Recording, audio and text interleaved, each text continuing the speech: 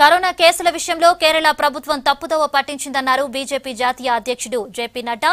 కేరళ కసర్గఢ్ జిల్లాలో నిర్మించిన committee ఆఫీసును video కాన్ఫరెన్స్తో ప్రారంభించారు నడ్డా. కరోనా లెక్కలను పినరాయి సర్కార్ దాచిపెట్టిందన్నారు. టెస్టులు పెంచాలని ఇండియన్ మెడికల్ అసోసియేషన్ డాక్టర్లు చెప్పినప్పటికీ కేరళ ప్రభుత్వం పట్టించుకోలేదన్నారు. గోల్డ్ స్కామ్ స్పందించిన నడ్డా ప్రపంచవ్యాప్తంగా బంగారం ఎల్లో కలర్లో ఉంటే కేరళలో మాత్రం రెడ్ కలర్లో ఉంటుందంటూ విమర్శించారు. గోల్డ్ స్కామ్లో కేరళ సీఎం ఆఫీస్ హత్యకు కూడా సంబంధముందని ఆరోపించారు. చైనా విషయంలో రాహుల్ గాంధీ ప్రజలను తప్పుదోవ పట్టిస్తున్నారని విమర్శించారు Nadda.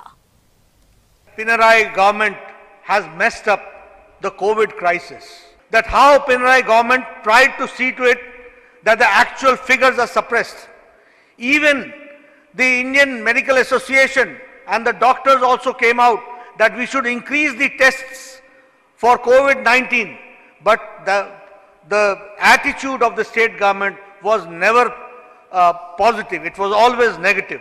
The same way Pinarayi government said that they are able to, they have made the quarantine facilities for 1.5 lakh people.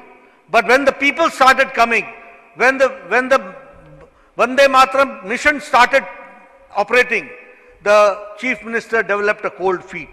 This means that they have been playing politics during the type of crisis also. In Wayanad also, the migrant laborers had to stage a, a protest against the state government. That is all. That is also we know. The Kerala government has been able has compromised the COVID-19 data with the private firm, and 1.7 lakh individuals ha- have been given to a private firm known as Sprinklr. I do not know what is the special relationship with this firm, but certainly it is a political patronage which has been given, and the private data of health has been compromised in Kerala.